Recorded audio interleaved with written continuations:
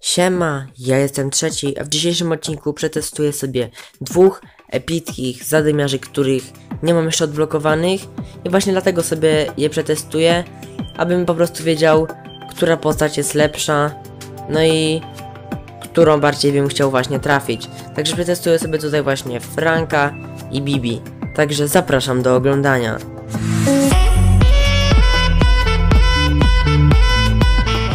Okej, a więc pierwszą konkurencją jest atak. Dobra, podejdźmy sobie Frankiem do tego robota i zobaczmy ile strzałów będę musiał użyć, aby go pokonać. Także dobra, pierwszy strzał, drugi strzał, trzeci i czwarty. Dobra, mamy cztery strzały yy, i tutaj mieliście też yy, czas, także tutaj macie teraz wyświetlony czas, w jakim udało się pokonać tego robota.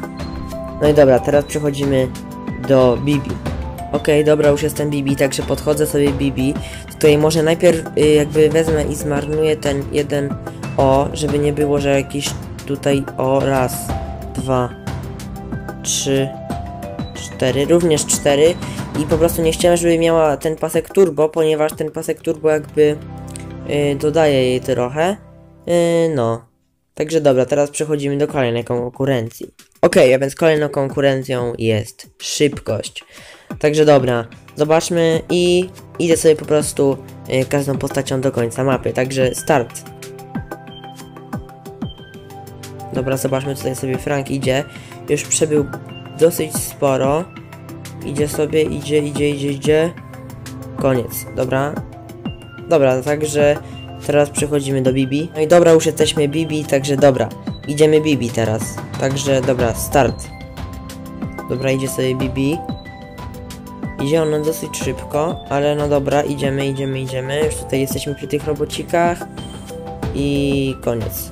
Dobra, także przechodzimy do ostatniej konkurencji. Ok, a więc ostatnią konkurencją w dzisiejszym odcinku jest zdrowie. Także dobra, idziemy sobie teraz Frankiem i zobaczmy na ile strzałów pokona nas ten robot. Dobra, pierwszy, drugi, trzeci, czwarty, piąty, szósty, siódmy, ósmy, dziewiąty, dziesiąty, jedenasty i dwunasty.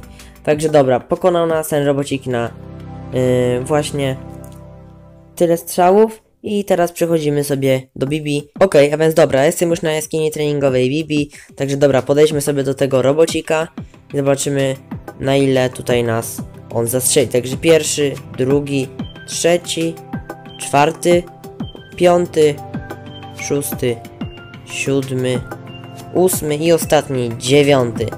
Także dobra, ten robot pokonał Bibi na 9 strzałów. Także przejdźmy do podsumowania. Okej, a więc podsumowując całą tą walkę o to kto był lepszy, walkę Franka oraz Bibi, podsumujmy sobie wszystko i mm, po prostu tutaj wam podaję wyniki. A więc pierwsza runda. Frank kontra Bibi to był atak, gdzie atakowali robota i właśnie tam zaatakowali i Frank pokonał robota w takim czasie, a Bibi w takim czasie. A więc w tej rundzie, w pierwszej rundzie wygrała Bibi, a więc jeden punkt dla Bibi.